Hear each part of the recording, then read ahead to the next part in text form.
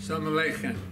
It's Rabbi Heshi Reichman. I'm a Rosh Yeshiva at Yeshiva Sabbein Zechon Yeshiva University, and I have the privilege of coming to give a shiur in Yeshiva Rambam almost every Erev Shabbos, already for many years.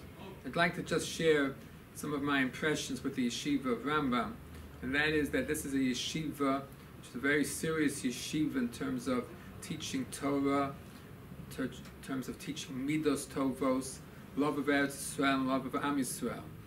The products of this yeshiva have gone very far in the world of Torah and in Yiddishkeit and the Jewish people. And we see many of them after they stay in Israel and they come back to the yeshiva, yeshiva university, and they are l'shem v'sil v'sefaris. They're excellent talmidim and are wonderful members of the Jewish people.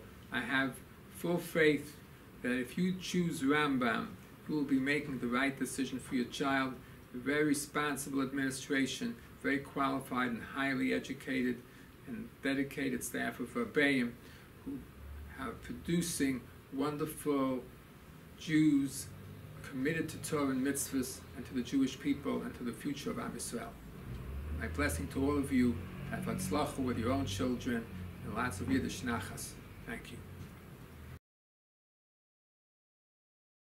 Thank you very much, Rabbi Friedman. It's a pleasure to be here. Really, I met with many of the Talmidim in the past hour and to be able to see their knowledge of the sugyas, their learning, their diligence, their hasmada, something which is very, very inspiring.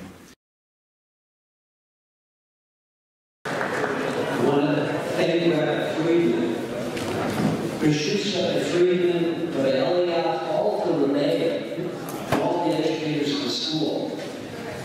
We have the great honor of seeing many schools and getting a chance to see their products long after they graduate.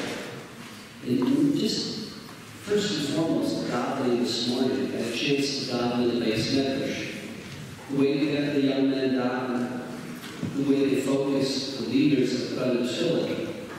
But in May every year, we do a tour of about 30 yeshivas in Israel because we try to recruit volunteers, for instance, And over the course of that tour, we spend a lot of time with the administrations of schools.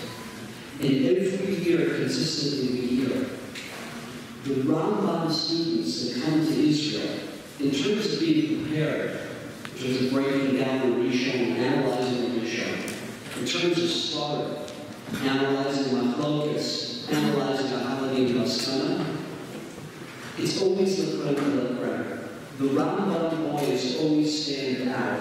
And that's not just in one or two machines. We hear that across the board. What we see is the graduates, after they leave Rambam, after their time is spent in Israel, they come back to the States. They always take a leadership role, whether it's on the campus, whether it's as volunteers in different organizations, volunteer advisors, not your thing, and then as lay leaders. The experiences that you get here in learning, the experiences that you get here in terms of responsibility of Christ for the Jewish people, your school and your experience, it stands out for years to come. And I'm just saying, as someone who works with the products of Rambam, it's a big honor for us, tremendous sense of honor to be associated with your institution and with your graduates. And I want to thank Dr. Friedman, I want to thank Eliath and Rebecca for the invitation here this morning. As well, I want to thank all the members of the PTA for the beautiful omelets and the beautiful breakfast you gave us.